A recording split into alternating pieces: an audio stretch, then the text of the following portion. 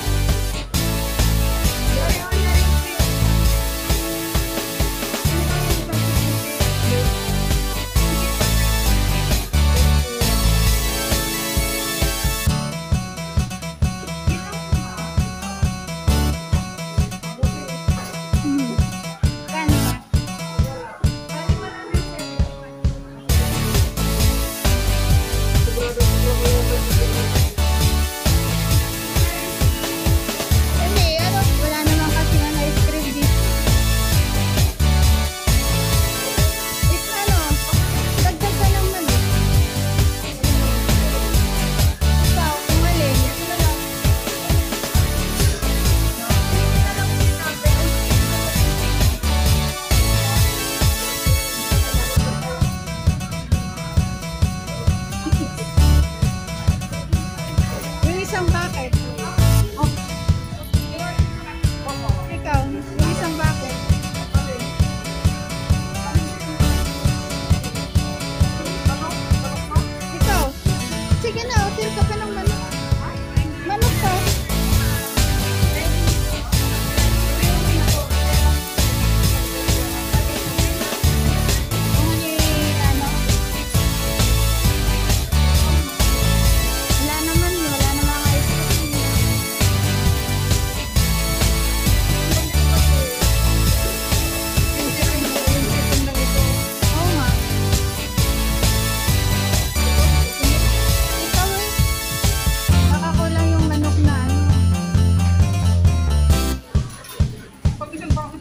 ang dami naman nila.